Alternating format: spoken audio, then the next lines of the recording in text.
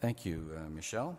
And um, I don't know if it's typical for European speakers to indicate what year they were born, but I probably was able to been, be your babysitter, perhaps even too old to have been your babysitter. But uh, 1971, I think, is still kind of recent, but uh, I know you're well along in your career with a really prestigious uh, international financial player. And um, it's interesting, the, the, acronym you're using there for the Netherlands, which is international for NL, is, is also the one for um, a province of Canada, which has become quite interesting recently in the context of CETA. That's Newfoundland and Labrador. So um, it's uh, we got our own NL to uh, to make the CETA uh, implementation process uh, rather interesting. But uh, it's a pleasure to be in, in op- uh, speaking in a, in, in, a, in, a, in a, an activity that has that collaboration of Canada and Netherlands. We we are definitely competitors in the world pork markets, but we collaborate a lot um, in dealing with because we each deal with many many many countries. in our case, over 100 uh, export uh, destinations, and I think the Netherlands would be similar to that. And um, so we have a lot of common issues on, on trade policy that, um, that we have uh, worked together quite a bit uh, over the years, along with the Danes and, and the US. But um, we are, uh, uh, I guess, another area of similarity between the Canadian pork industry and the, and, the, and, the, and the Netherlands would be our dependence on exports. And this chart here just gives you the um, progression of our exports relative to our domestic disappearance. Um, we are now exporting well over two kilos for every kilo consumed at home, and that doesn't include the live animals that we export to uh, the United States, both uh, for, um, for processing and for, and for feeding. Um, unlike uh, the Netherlands, which has uh, a lot of uh, that export going into uh, other EU member states, for which there's probably quite a bit more certainty of access than we have in the event of a foreign animal disease. But in any case, this just gives you a notion of, of our dependence on exports. Um, also, our increased diversification to other major markets. And you can see just in the last decade and a bit, um, and if you went back to the, say, 1990, uh, when, uh, when we uh, uh, escaped a permanent duty on pork going into the U.S., a countervailing duty, um, when we were, I think, about 85% dependent on the U.S. Um, by 2000, we had cut back about to about 50, and now it's under a third of our exports going to the United States. Uh, a large portion uh, going to Japan. Now, this chart really is under understates Japan in the sense of uh, the value of the exports to Japan being much higher on an average uh, kilo than is the case for other markets. But nevertheless, the tonnage is well over half now going to other, other markets, whether it's Russia, China, uh, Mexico, Australia, Colombia, uh, New Zealand, etc., Philippines. And um, now this um, gives you some of our major markets. And, and I think what's interesting here is the, um, if, is this the pointer? Yeah, so if, if well, if you can just uh, kind of look at that, that line for, for Japan, which is one of one of the many aspects of the Japanese market that's really important for Canada is its stability. If if we're able to deliver the product, the quality, and the and the reliability that uh, that they require, then um, really it is um, a, a, very secure market. But then you see these these other uh, these other uh, much more jagged trend lines, which um, um in some respects, unfortunately, have gotten a little bit large uh, for our, our, our industry to handle sometimes. That's Russia's and, and the China's of the world, where uh, exports can be going along very nicely, and then uh, other factors come along like domestic supply and well, geopolitical uh, developments, such as is happening right now in, uh, in, in, in, the area of Russia, that um, those markets disappear overnight. And uh, so massively, uh, it, it, just under, understates how important it is for us to have alternative markets, which is one of the reasons why we had so much uh, interest in, in, the, um, in, the, in CETA. Um, so again, on a value basis, just illustrates how some markets take higher valued um, cuts and, and, products, and Japan being, as you can see there, the highest. And then we've got other markets which, uh, which are much, much lower, um, less than, a, well, about a third of the Japanese value if you look at uh, Mexico and Philippines. Now, it's not to understate the importance of those markets to us because if we can get more for, uh, uh, uh, say, a stomach from a, from a pig than in one market versus uh, uh, another, that still adds value to, to the animal. So they are all critical to us, but it's just it's a matter of using all these available opportunities to get the best, best value for our, our, our, our uh, final product. And um, another illustration of how we have diversified away from the U.S. over the years. So at one time, 80%, that's 20 years ago, and now it's about a third.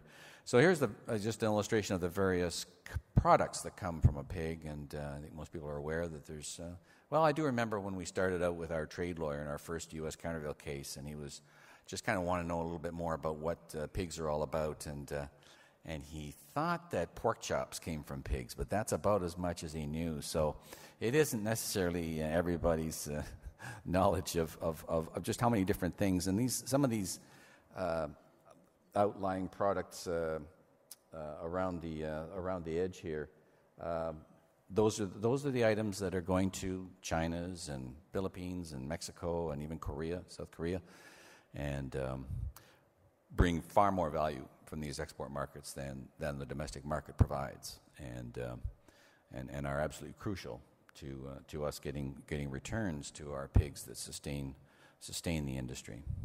So, Canada EU trade agreement, uh, the elements were, uh, the, the, the, text was, uh, was officially announced last uh, September, and it's currently going through this legal scrub, so that's where they need to make sure that, well, they look at all the legislative changes that will be required in both jurisdictions to, to implement it, and hopefully that's going to be ready to be brought forward, and I'm using uh, hopefully reliable sources here um, that, um, that will see it brought forward to the European Council by the end of the year, and then it has to go to uh, uh, the Parliament, EU Parliament, at the same time in Canada. It's got to go through our legislatures, both national and, and provincial. But it has, uh, has opened up uh, an 80,000 80, ton carcass weight equivalent, and, and carcass weight really is bone in weight equivalent by um, uh, the end of the five year transition phase. And each, each phase uh, is duty free, and so each tranche, which will be uh, um, uh, staged, is, is going to be uh, duty free. And just to give you a sense of the, uh, how, what this represents to existing EU imports, EU imports 30 to 40,000 tons, depending on what year you're discussing. And so we are looking at an amount that is three times. Well, if, if it was fully imported, would be represent a kind of a, a, a trebling of their existing imports. Um, but as, as people know about uh, the EU, it's not just tariffs and so on, uh, it, there are other factors that have caused that market to be one that many people uh, looked at as impossible to penetrate. Um, a lot of that was in the area of quota administration. And we are uh, looking within CETA, and we, at, in, before, I guess, well, right up to the very late stages, we assumed we were going to have a first come, first serve um, quota allocation system, which is what exists under the other EU free, free trade agreements.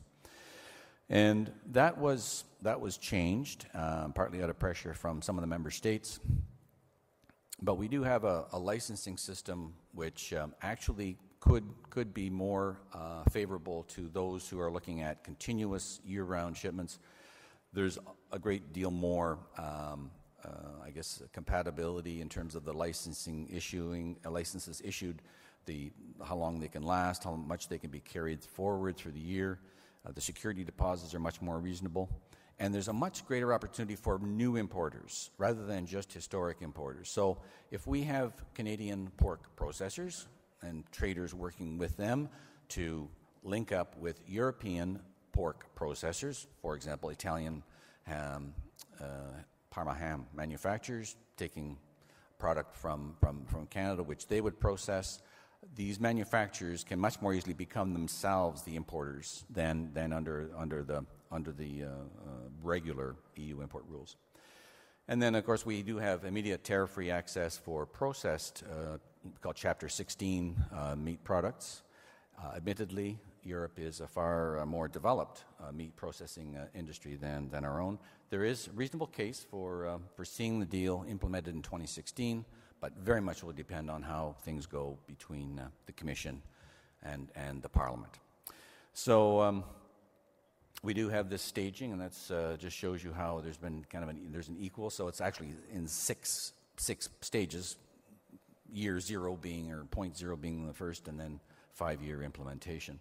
Now, the EU is a major pork exporter itself, as you can see here, so it's not far behind the United States, which itself was a huge net importer 20 years ago, but now is the world's largest pork exporter. So within the European Union, we have over half a, over half a billion uh, uh, population, and their average pork consumption is, is just a little bit less than double what Canada's is and um, which amounts to 20 million tons. So, they, with their existing 40,000 tons of imports, or if you look at, uh, at, at, Canadian exports being fully filled, um, you're looking at half of 1% of, of uh, European market being provided by, by, uh, by imports. And um, this would compare with Canada's 25%. So, one in every four kilos of pork consumed in Canada on a net basis is imported and it's just part of that North American market. We're increasingly importing from Europe again, but um, it is um, so. I would suggest that this is going to be a very small amount in terms of any market impact in the U.S., but also a very small amount in terms of being uh, able to penetrate an enormous market. now, it's definitely not a, um, a single market, the European uh, Union, and now and more and more as we've, we've seen additions in countries like uh, Croatia and and, and, and the, uh, some of the Nordic countries. But we've, um, we've, we've had a bit of work done in terms of um, intelligence on, on that industry and on that, that market. And just looking at three of the big countries, Italy, France, and Germany, just within there, you're looking at one of those, Italy being essentially uh, an importer of, or user of hindquarters, this enormous processed ham market. Uh, Germany uses more pork and sausages than we, than we uh, consume pork in total probably well over double that, and, and which is primarily forequarters. That's the shoulders going into that. So those are two really interesting markets for, for Canadian pork, not Germany so much, but as the shoulders and, and, and, and, and hams. Um, and then in France, you've got a mixture of those. Um, Germany's very highly processed uh, uh, for their different, uh, uh well, sausages, etc. Um, and um, in terms of the market players, it's a very uh, highly fragmented uh, market uh, in, in Italy and France. Many, many smaller companies. Germany, you have some very large meat companies, uh, and some of them have, have taken uh, ownership of part of parts of, of, of Dutch companies as well. So, um, and then there's many other considerations: seasonality of demand. Um, we are looking for opportunities to sell chilled pork more and more from Canada. That's we first started to export chilled to Japan, and then uh, other several other markets. Um, but um, this is not something that's widely uh, widely uh, knowledge or knowledge of in, in Europe because um, they they have really depended on their own local demand, local supply of um, of fresh or uh, frozen. So um, chilled product is something that Canada will have to look at staging in in terms of uh, uh, introducing to the European market. So some of the work we've had uh, from uh, from this um, from Gira, and uh, some of you may be aware of this company, but uh, they've done some work for us to just kind of identify some of the some of the key criteria that will be determining our our success. Um, in, or the opportunities and, and challenges that we've got going into that market. And uh, so this is looking at the criteria of buyers for the choice of product and certainly uh, conformity of EU rules, which, are, which we know are considerable. And some of these are regulated, some of them are just uh, were, are, are things that retailers or distributors or processors will be requiring to buy our product. And, but this is not new for us. We're having to do it in many other markets now. We're having to not use certain feed ingredients, etc., for uh, for, for several of our markets. But it does require specialized, uh, uh, adaptive, and I think Canada has a long-standing record for being uh, able to deal with different specs and standards and, and, and, adapt to them. Of course, price. I don't think there's any market where price isn't a key ingredient. Um, and then there's a host of others. You can see the animal feed without GMOs is, is a factor, but it's certainly not, uh, not the top one. Um, breed is, seems to be uh, much less important than others. Now, that's product. Um, then we get into suppliers. and regulatory regul, regularity and, and reliability are, are the two largest. And you can see it does vary between markets, but um, certainly extremely important in, in all three. And um, ability to supply large volumes is important to some, but it's not certainly the, the largest. But uh, the lowest price you can see is, is, um, is, is, not, is, not the, uh, is not the only, um, even the number one criteria for in terms of choosing the supplier. Uh, it's, it's very important for them to, in terms of choosing the product, but um, uh, there are other very important considerations. So we're going to need to understand that we have virtually zero awareness of pork in, in amongst the European meat industry. It'll be like, I don't know, Argentinians trying to come in and say we are major producers of watches or something. We're just not known for this product. There's a few that would be have, have come across. Traders would be aware of it, but in terms of the meat buyers, uh, whether they're process, further processors or consumers, they do not have much of an, a perception of, of our product. And on top of that is this issue of, of lack of awareness of, of chilled pork. And um, since they've been so used to having either fresh or, or, or frozen nearby, and, and, and there is from the work that's been this bit of work done so far, there's kind of a, a presumption that uh, most of our supply will be in the frozen area. So, um, so we do have a challenge there to, to, to, introduce the chilled concept. Image is basically good, nothing you know super outstanding that would you know provoke people to change their buying behavior overnight. Um, so we're going to need to kind of create uh, um, some awareness of us as a potential supplier, uh, the strengths of us as a, as a, as a, as a reliable uh, supplier, and introduce people to this uh, image of chilled and uh, frankly, we'll have to get started with uh, you know, attractive prices to, to, get on, to get on with things. So I'm just going to just go and I probably, how am I doing for time, David? Okay. Well, yeah, okay. No, I just got a few slides here, and I, I think maybe I'll just kind of uh, a little more detail than I appreciated when I, when I uh, put them down. But um, I think some of, the, some of the things that CETA gives us is. Um, in terms of kind of breaking into that some of those European supply chains. Um, technical issues are always crucial. Whether and again, some of them are regulated, some of them are just buyer requirements. But uh, in the area of regulatory requirements, um, some of which, uh, well, I guess probably all of uh, which fall somewhere in this category of sanitary, phytosanitary issues, uh, we do have some resolution mechanisms for dealing with these within CETA, um, absolutely essential. Uh, I say at least we hope. Uh, there may be some things that we didn't know for sure. Uh, we knew some some areas of, of, European differences in European inspection systems that we had from ours, and we tried to address those in the, in, in, in correspondence. Our negotiators did, but there probably are some others that we didn't appreciate in advance, and we've got to become aware of those before we. Uh, and I should add, though, we did start to export pork, so we're not totally new. Um, we were, uh, I guess, before we saw a significant decline in the euro um, and then a significant increase in European pork supply relative to market needs, uh, uh, given the Russia situation. There was there was uh, a period there for I don't know two or three years where we did see uh, uh, um, some movement of Canadian pork into into Europe, modest amounts, but we did have at that point three or four plants moderate sized plants uh, approved for, for export. So it, it can be done. And, um, but it was done at a, a, lower scale than we're looking at now. And, um, but it, it, um, it, it, you know, everything isn't going to be entirely new for, for everyone. There's been some changes in recent years. But um, I think what the CETA does provide is a bit of a, bit of a framework, I guess. Um, I, I, think you know, if you look at all of Canada's past free trade agreements, Often they start with markets that, um, certainly not the case with the US, but in the case with uh, bringing China into the WTO or establishing an FTA with Colombia, other examples where we didn't have very much familiarity with those markets. We didn't have much in the way of relationships between suppliers and buyers yet.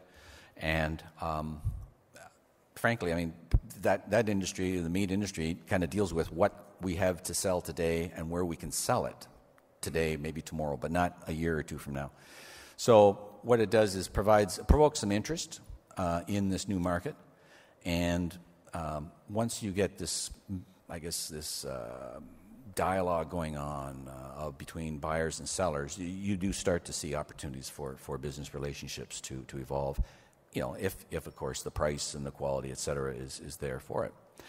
And um, so um, I think just to wrap up on this slide, we, we, we would be looking at, at just having a, a better uh, and a more rapid way of dealing with, uh, with, with uh, access issues and so on as they come along.